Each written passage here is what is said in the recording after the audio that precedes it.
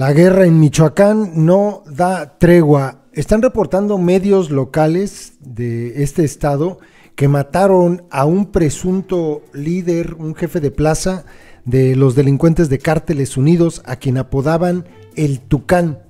Sería jefe de plaza del municipio de Cualcomán. De hecho, mencionan los medios que no tenía mucho tiempo estando eh, como jefe de plaza en este lugar, que llegó apenas eh, a finales del año pasado, a principios del mes de diciembre, y se asentó ahí y fue acribillado supuestamente bajo las órdenes del cártel Jalisco Nueva Generación.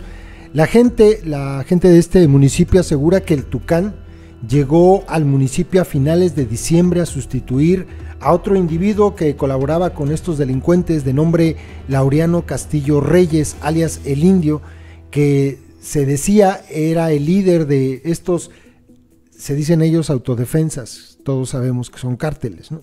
Creo. Eh, autodefensas, cárteles de Cualcomán y que huyó a Estados Unidos porque estaba siendo buscado por los delincuentes que estaban tratando de vengar algunas de las muertes que este individuo había cometido.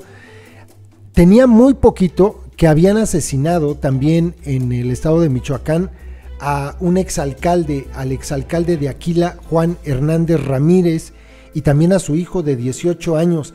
A estos dos se les había señalado muchísimas veces, muchísimas veces de participar con la delincuencia organizada. De hecho, él había denunciado que estaba siendo amenazado y que lo querían matar. Cuando surgieron los autonombrados, o como les decimos a estos, los cárteles de las autodefensas en la zona en el año 2014. Juan Hernández apareció en unas fotografías sentadito ahí, se acordarán ustedes, platicando muy contento con Servando Gómez Martínez, la tuta, el líder de los Caballeros Templarios. Entonces se le empezó a relacionar con este y a hablarse mucho más sobre los vínculos con el crimen organizado que tenía.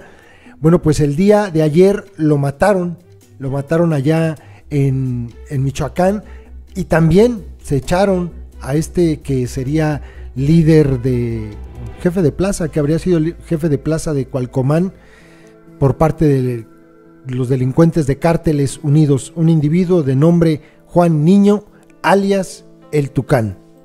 Y este es un comunicado que distribuyeron a través de redes sociales la gente del cártel Jalisco Nueva Generación diciendo, atribuyéndose ellos el asesinato tanto de, del Tucán como del el exalcalde de, de Aquila. Dos piezas importantes, dicen, dos piezas importantes de Cárteles Unidos, región Tepalcatepec, que operaban bajo bandera de autodefensas, fueron abatidos el día de hoy que en la serie de enfrentamientos de Cualcomán y Chinicuila también se reportó la muerte de Juan Hernández, expresidente municipal de Aquila, en la zona costa que limita a Michoacán con el estado de Colima. Y luego amenazan a otros, ¿no? Y sigues tú, Marino, Tetos, Chirrios, Cachuchas, Chayito, Mando, Buba, Pantanos, Chunde, Boto, Fresa, las hermanas Sierra Santana, Huicho, Poncho, Felipe Villalobos y sobre todo tú, abuelo. Supuestamente es por los que van. Esto es lo que publicaron y ya están en la lista los otros.